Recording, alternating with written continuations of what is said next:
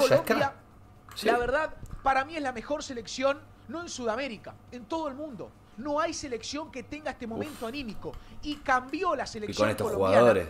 ¿Y en dónde podemos comprarla? No sé, solo la venden donde Sudamérica.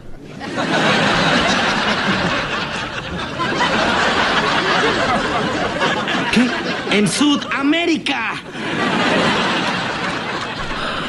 Hola, hola a todos sudamericanos, sean bienvenidos a un nuevo video de Sudamérica, tu canal de fútbol sí, sudamericano, americano y de todo el continente. Un día más aquí en el canal y más precisamente, sí, deja mucho por analizar, mucho por poder ver la gran doble fecha de amistosos que ha tenido Colombia, el último triunfo que ha tenido frente a Rumania, que realmente fue muy, pero muy contundente. Hoy venimos a hablar de ello, hoy venimos a ver lo que ha dicho y obviamente a escuchar, analizar, obviamente opinar lo que ha dicho la prensa argentina sobre el triunfo de Colombia, así como lo hicieron también sobre el triunfo frente a España y como ustedes saben, reconociendo el gran valor que tienen estos triunfos y obviamente que tiene el proceso de Néstor Lorenzo y de toda la selección colombiana que han logrado hasta ahora desde, Asunción, desde su asunción, desde la asunción del técnico argentino, ayudante en su momento de José Néstor Peckerman. Así vamos a estar hablando de él y obviamente la selección y todo lo que ha dejado en esta doble fecha de amistosos.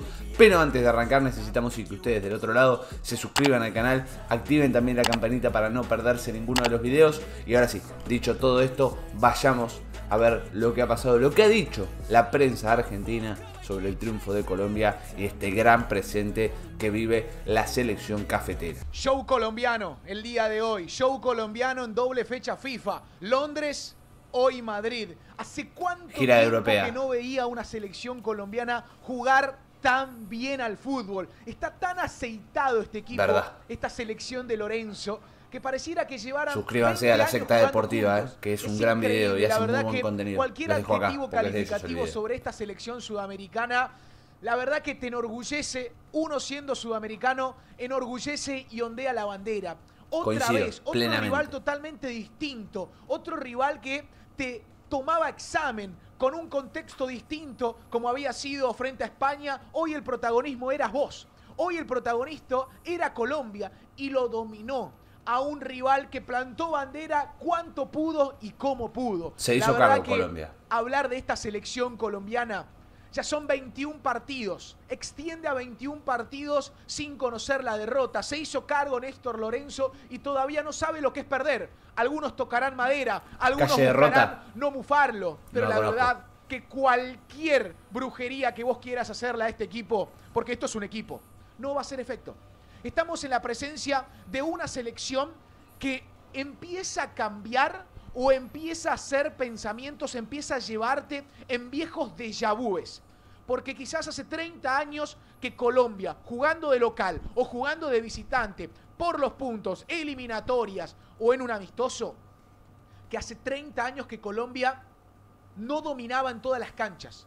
Históricamente Colombia Siempre este tuvo video déficits. Te quiero hablar de Lucho Díaz, te quiero hablar de James, te quiero hablar de Lorenzo, te quiero hablar de Richard Ríos. No pude hablar frente a España porque las luces de Lucho y de James me obnubilaron. Es pero normal, hoy me detuve minuto a minuto de hablar en el volante de contención que tenés Colombia. Partidazo de Córdoba, partidazo también de John Gran Arias. nueve ¿Qué descubrió se puede Colombia? hablar de Jason? ¿Qué voy a decir de Asprilla si es la gran joyita? Yasser. Voy a hablar de distintos, te- de distintos temas en este video. Primero, resaltar tu invicto colombiano. Felicitarte. 21 partidos sin conocer la derrota. Estoy de acuerdo Te voy a agregar otro dato más que quizás no conocías. 12 partidos sin conocer la derrota frente a europeos tiene Colombia. 9 victorias y 3 empates. Primera vez en la historia de la Gran selección dato. de Colombia que puede hilvanar 3 partidos consecutivos ganándole a europeos. Alemania, España, y hoy Rumania.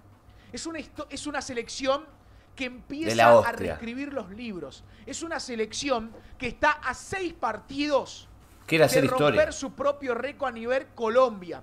27 es el máximo récord. ¿Querés saber cuándo podría ser ese récord?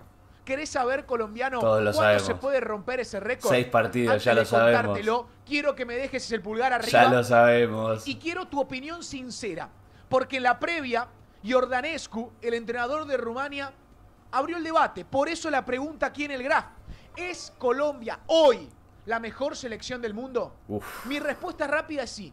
El fútbol Acá son abajo emociones, son momentos. Déjenlo. Y hay que saber aprovecharlos. La gran tarea de Lorenzo Yo será ¿eh? llevar este barco que viene con viento a favor, que viene con hambre, que viene remando muy fuerte, llevarlo a la Copa América y que pueda explotar para sentar nuevas bases hacia el futuro. El futuro son las eliminatorias. Está cómodo, pero todavía no está asegurado el bolet- boleto a la Copa América. Es verdad. El presente de Colombia para mí, y quiero tu opinión colombiano en el chat, quiero que me lo comentes, la Copa del si es Mundo, o no, no la me mejor selección del mundo.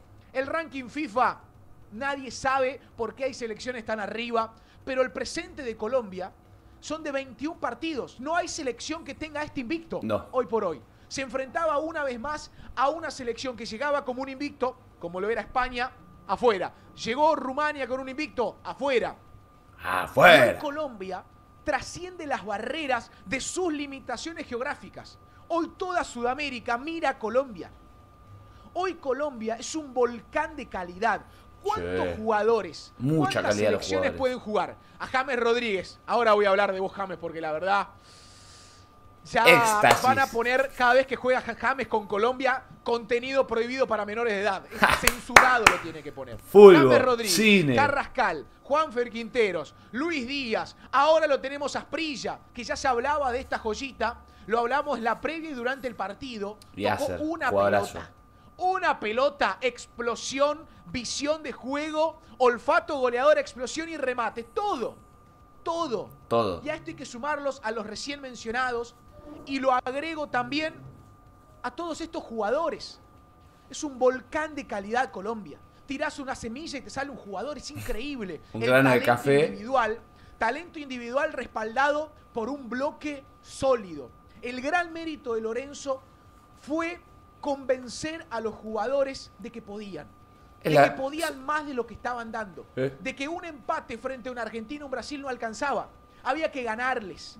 De que un empate o un buen desempeño frente a, los, a las gigantes europeas no alcanzaba. Había que ganarles. Porque se había puede. que ganarles en su casa. Había que ganarle en tierras europeas. En tu cara, Hoy Mbappé. tiene una base sólida, mérito de Lorenzo. Vargas en el arco, y si no, lo tenés a Ospina también. Otra experiencia, bandera colombiana. Eh, un referente. Hoy jugaron un partidazo los dos centrales. Tiene una columna vertebral en el medio con Lerma. Impenetrable, impermeable. No lo podés romper a Lerma. Y también lo tenés a Ríos. La particularidad del jugador de Palmeiras, que cuatro años atrás jugaba al fútbol sala, al fútbol de salón se probó en Flamengo y empezó a aumentar su nivel. Y hoy se nota el nivel que le ha dado, la calidad que le ha otorgado a esta Una selección colombiana. tremenda. Su incorporación es palpable en el funcionamiento del equipo. Pisa el área rival, es creativo, se acopla a los virtuosos del equipo, no desentona, conoce sus limitaciones, juega simple pero preciso, los pases hacia adelante y en la marca es un perro de presa combina, Te es, mata. es la rueda de auxilio de, de Lerma en el mediocampo, que hace todos los relevos. Lerma juega en silencio, pero hace todos los Eh, relevos. Y también está la rueda de auxilio en los creativos pisando el, ar- el arco contrario. Es una rueda de auxilio para todos. Este jugador de Palmeiras, que tiene destino corto en Palmeiras, lo van a venir a buscar. Europa de seguramente cabeza. los gigantes europeos. Hoy Colombia ha extendido su invicto. Néstor Lorenzo no conoce la derrota. Y hoy, jugando al fútbol en todas las facetas, defensiva, estructura sólida, aguerrida, impenetrable, ya ganando 3 a 0, se relajó, que acá lo va a tener, que yo me imagino al profe Lorenzo, tirón de oreja, marcándole que en Sí. 5 minutos cualquier selección te puede marcar 2-3 goles. Si vos te confías, esto es un aprendizaje para. Colombia. Todo aprendizaje, todo proyecto, son pequeñas piedritas. Lo bueno que había sacado diferencia. Caídas y levantadas rápidamente. Va a servir de aprendizaje. Pero después dominó con James otra vez. Hoy James se fue ovacionado. Hoy James Rodríguez en un nuevo Era hora. capítulo ovacionado y cada vez que se viste la camiseta de Colombia, cada vez independientemente del contexto de Y ojalá lo reconozcan en Colombia también, en el estadio. A James y su legado será la selección de Colombia. No será un equipo, es un jugador de selección. Es como el pibe Valderrama, no los quiero comparar. No quiero hoy dividir No, las no, aguas. no. Si Cada yo a vos te pregunto, suyo. colombiano, el pibe Valderra- Valderrama, rápido, ¿se- ¿te acordás de algún equipo o te acordás de la selección? James Rodríguez, rápido, ¿Te acordás de algún equipo o te acordás de la selección? Son Es jugadores real, distintos. coincido. Son jugadores que elevan su ki, como si fuera Dragon Ball Z en la selección. Hoy James Rodríguez fue ovacionado otra vez por todo el estadio. Se paró todo colombiano en el Civitas Metropolitano para ovacionarlo. Hoy tuvimos un nuevo capítulo de Mérito. Lucho Díaz. El modo Lucho Díaz ya es un adjetivo calificativo, Luis Díaz. Desequilibrando, Diablo rompiendo total. defensas, rompiendo caderas. Para mí. Lucho Díaz cuando se retire se va a poner una escuela de danza. Se va a poner una escuela de baile. Es increíble cómo los hace bailar a todos. A su ritmo, domina las defensas, línea de cuatro, línea de, fi- de cinco, defensa Hace lo que bloque. quiere, No hace lo que quiere. Lo máximo que podés hacer con Lucho Díaz es intentar contenerlo. Es inevitable Lucho Díaz. Hoy Colombia, en cada una de sus líneas, está en un nivel superlativo. Sí. Mojica, un poco dubitativo, muy sólido frente a España en la parte defensiva, explotó en la parte ofensiva. La rompió toda el lateral de los Asuna. ¿Qué hablar de Muñoz? La de Karate Kid, la de Daniel San para quedar en la retina de todos los españoles frente a España y hoy con una habilitación, una rabona espectacular en el segundo gol. Hoy Pero los dos taquito, goles de Colombia, taquito. el segundo y el tercero, era la Holanda de Cruyff. No estoy exagerando, era el Barcelona de Pep Guardiola. En el segundo tanto, Mirá a Colombia, ¿eh? mírenlo varias veces, controlen el cronómetro. No les voy a mentir, dos minutos de posesión en el segundo gol. Rabona mediante, presión alta, robo, Rabona, llegar con profundidad, una habilitación por parte del centro delantero Córdoba que había marcado en el, el primer tanto, lo habilita solo a John Arias. La jugada se desarrolló por la izquierda, John Arias apareció como segunda punta por el carril central, control y remate, golazo. Y el tercero, con la participación de Jaser Asprilla, Yasser, joyita que Yasser. Colombia, ¿eh? Qué joyita que tenés Colombia, un jugador que está marcado, que está destinado a marcar una época. El jugador que hoy milita en el Watford, no sé cuánto le va a quedar. Y hoy se mete y le va a golpear la puerta la a- al profe. Lorenzo. Profe, estoy para la Copa América, ¿eh? Qué lindo dolor de cabeza que tiene Lorenzo realmente. Hoy Asprilla, hoy Jaser terminó controlando, guiando el ataque. Luego de 21 pases, luego de 21 pases en donde la gran mayoría fueron de primera, él fue el que condujo, rompió con su explosión, tiene una zancada larga, habilitó hacia la izquierda a Mojica, continuó con el ataque, no se quedó, no se quedó quieto. Tuvo la voracidad de ir a buscar, llegó hasta No, la tremendo, medialuna, tremendo la el hambre que de- tuvo. de Santi Arias y tenía tres jugadores que lo iban a, a presionar, a comer. Una zancada, un primer paso agresivo, explosivo, en te un metro para sacudir con la pierna izquierda, con la de palo. Tiene todo este pibe. Tiene la visión, la claridad mental y con la sangre caliente. Es Hoy joya, Colombia.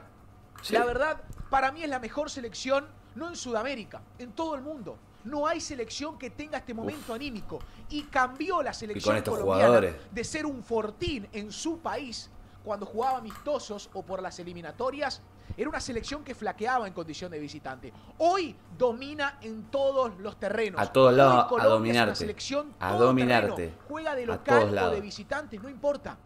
No importa, es local y no por el calor de la gente que hoy volvió a llenar Madrid, más de 30.000 hinchas coparon el Civitas Metropolitanos, sino por la personalidad con la que juega. Sí, Estamos hablando de una selección que puede marcar historia. Estamos hablando de una selección que sigue extendiendo récords. Estamos hablando Y sí, obviamente hasta aquí todo lo que ha hablado se, se ha rendido, se ha deshecho en elogios el argentino y, y es normal porque hay que reconocerlo. Cuando una selección sudamericana juega así de bien y tiene este tipo de récords y realmente es un orgullo para todos. O sea, yo también me siento identificado con lo que decía él, que uno se siente orgulloso como sudamericano de que realmente estemos dando eh, la talla y que obviamente seamos, viste, eh, lo, más grande que hay hoy en el mundo, porque es real, hoy la selección de Colombia, eh, si no es la mejor, porque alguno tendrá otro aspecto a tener en cuenta, analizar, si no es la mejor selección del mundo, es una de las mejores selecciones del mundo, eh, contado en el top 3, top 5, porque realmente el invicto que tiene, cómo juega, a qué rivales le gana, y todo obviamente le hacen estar hoy, hoy, cuando no hay una competencia no es que hoy se juega un mundial y hay que... Hoy, hoy mismo cuando se están jugando amistosos y este tipo de competencias, está ahí arriba. Después veremos, obviamente a todo colombiano le gustará coronar con una Copa América, le gustará que esta Copa América a la cual llega muy bien esta selección la pueda ganar, pero bueno, obviamente esto es fútbol, hay muchísimos factores que, que pueden influir, hay rivales que también juegan y compiten y también quieren ganar lo mismo y habrá que, habrá que esperar a ver si la selección colombiana puede hacerse de este próximo torneo, de este cercano torneo, para poder eh, coronar con este gran momento que viene, que viene teniendo. La verdad es que es real, que tiene muy buenos jugadores, muy buen potencial, tiene todo. Colombia hoy tiene todo para poder triunfar en el ámbito internacional y obviamente todos esperamos que lo pueda hacer, que pueda coronar, que pueda eh, llevar todo este gran momento que pasa a, ese nivel, ¿no? Que uno siempre quiere coronar eh, el, buen juego de su selección o de su equipo, el, gran presente, el gran momento, el gran proyecto, las grandes ideas que tiene en coronarlo con un título. Es como la frutilla de todo el postre de haber hecho todo eso, de haber pasado por todo el proceso y obviamente poder festejarlo, porque muchas veces para muchas personas eh, no terminas sirviendo si no terminas adueñándote de un título. Así que hasta aquí hemos llegado, gente. Espero que les haya gustado. Si es así y si quieren más sobre la selección colombiana, sobre lo que viene pasando, el gran presente que viene disfrutando todo colombiano y todo sudamericano, porque yo también me incluyo que se disfruta ver jugar a Colombia con estos enormes jugadores. Si les gustó, saben que se pueden suscribir acá abajo en nuestro canal con el botón rojo. Pueden activar también la campanita para no perderse ninguno de los videos. Nos pueden dejar ese enorme like, dedito para arriba si les gustó. Comenten qué les pareció a ustedes, con qué están de acuerdo o con qué no, de todo lo que se ha dicho, de todo lo que se ha hablado en el video. Aquí abajo lo pueden dejar. No se olviden de compartirlo y nos vemos en el próximo video. Chau, chau, chau.